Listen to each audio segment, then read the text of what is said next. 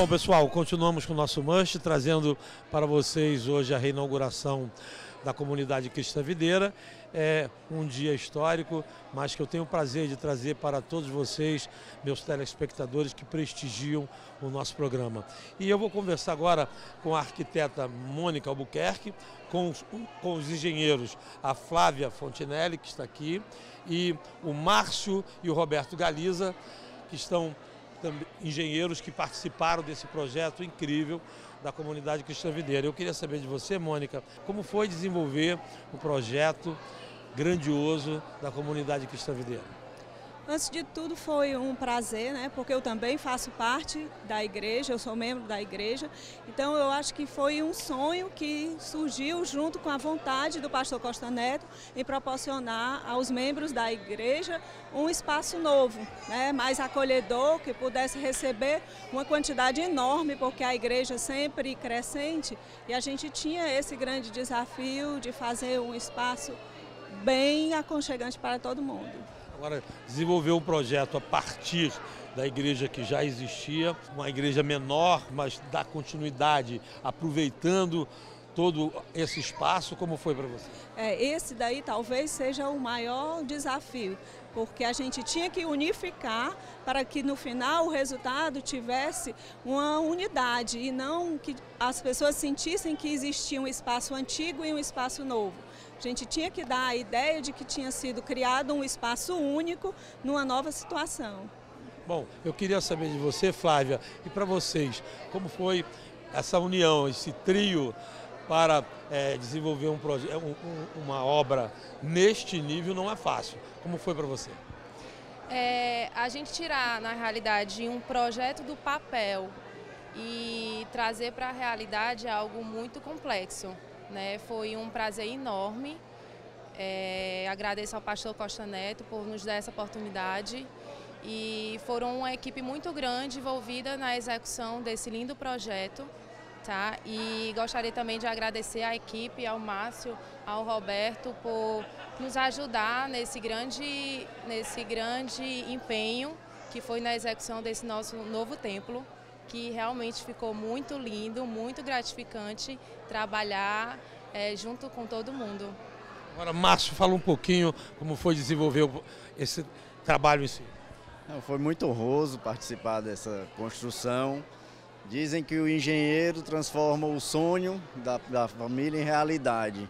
A gente conseguiu transformar o sonho de toda uma comunidade numa grande realidade que ficou um espetáculo lindo, maravilhoso aqui que a gente participou da, agora da inauguração aqui. E para você, Roberto? É, realmente foi muito prazeroso, até porque a primeira obra da nossa construtora foi a Videira. Em 2002, nós fomos, a gente teve a ideia de, de montar essa empresa e o Costa Neto, que era Davi Cunha, foi para o Parque, era amigo do pai do Márcio, que era diretor Davi Cunha. Então foi a nossa primeira obra, foi a Videira. E 14 anos depois, a gente teve o, o convite para ampliar a videira, né? Então realmente foi bem prazeroso para a gente. Bom, agora fala um pouquinho como é desenvolver um projeto desse nível. É bem complexo, bem complicado. Tivemos sempre que nos reunir, marcar reunião, compatibilizar. Reuniões semanais, compatibilizar os projetos acústicos, de iluminação, de arquitetura, de som. Tudo isso tinha cada andamento, cada semana aparecia uma interferência, mas graças a Deus deu tudo certo. aí. É interessante, porque, como eu vinha falando com vocês no início, em off, a gente, eu sou um homem de teatro, a gente sabe que construir é, é, um espaço, um auditório neste nível, com um palco, que uma das principais detalhes da videira é a música, e a gente precisa de um palco de qualidade. Fala um pouquinho disso. É, eu acho que o grande desafio né, do projeto realmente foi direcionado para o palco.